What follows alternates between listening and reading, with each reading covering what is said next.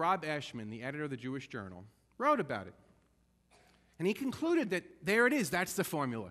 That's the formula to success in the Jewish community. It has to be excellent, it has to be relevant, and it has to be free. Exactly right. Put those three things together, and you got Jews. Great idea. So he suggests we take that birthright model and expand it. Camp right. Send a Jewish kid to camp.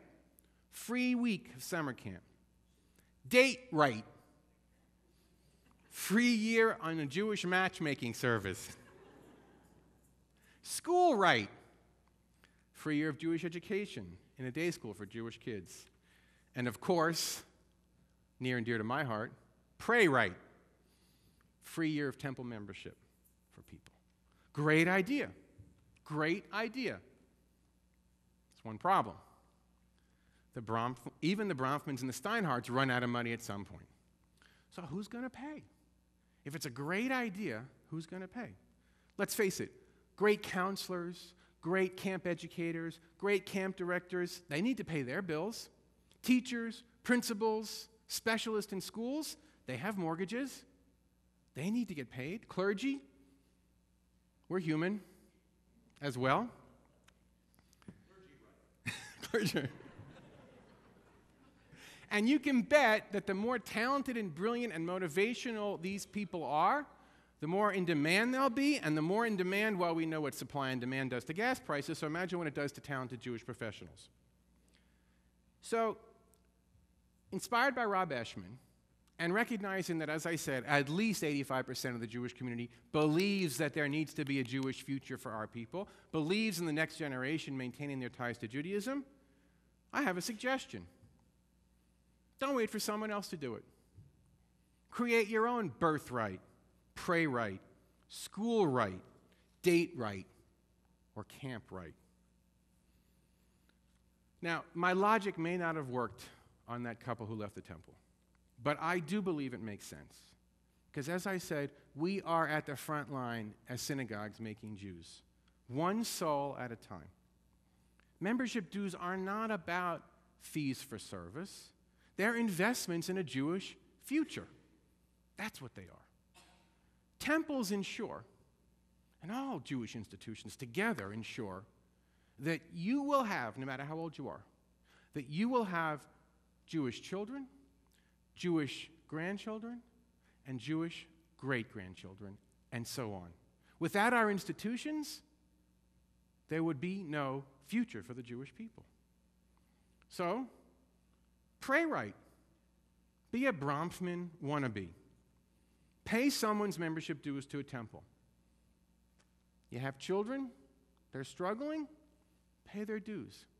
You have grandchildren, they're old enough to raise a family, Give them a membership to a temple. No one in your family needs it? Become a patron and sponsor at this temple if you're a member, so that we can help someone else become members of this temple. Like I said, temples can't do it alone, though. Become your own mini birthright benefactor. Take your family to Israel. Send your teenage children or grandchildren if you're a grandparent. They don't need the new iPod or the new computer. They may think they do. Send them to Israel instead. Camp right. Send your grandkids to a Jewish summer camp.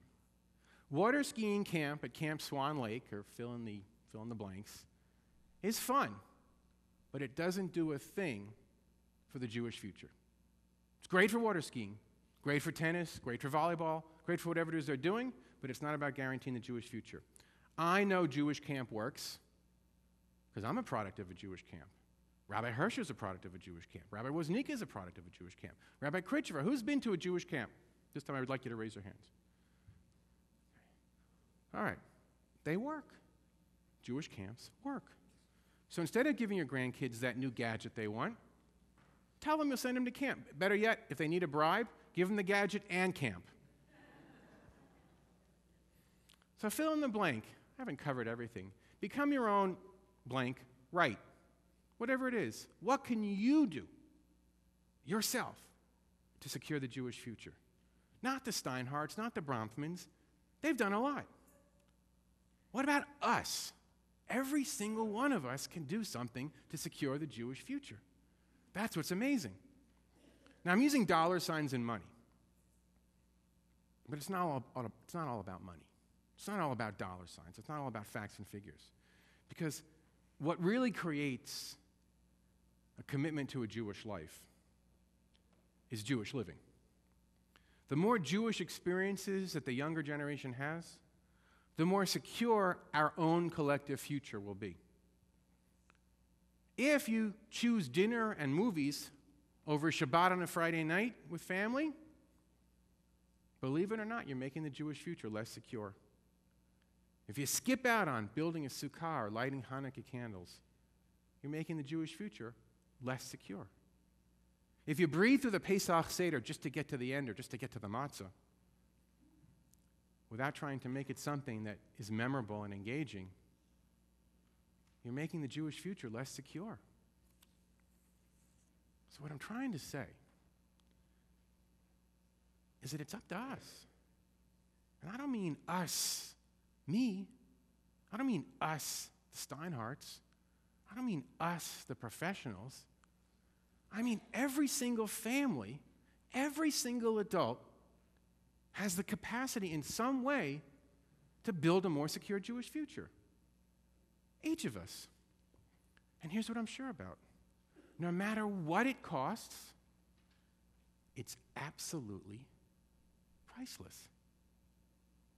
Absolutely. So now that gets us back to the V'ahavta on page 18 and the words I asked you to read. That prayer is said twice a day by Jews morning and evening service. Twice a day. And in those words, we say, teach them to your children. Thousands, just think about it for a minute. Thousands of years of Jews saying, teach them to your children.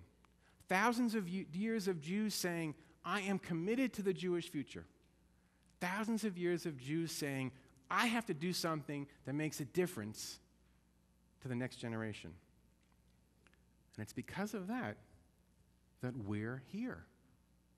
It's because of that commitment that I can stand here and talk to you. There is no doubt in my mind that if each of us works to secure the Jewish future, we will have one. We'll have one that is wonderful and glorious and filled with meaning and purpose. And who knows what great things we can continue to achieve as a people. Ken Yehi Ratzon. So may it be.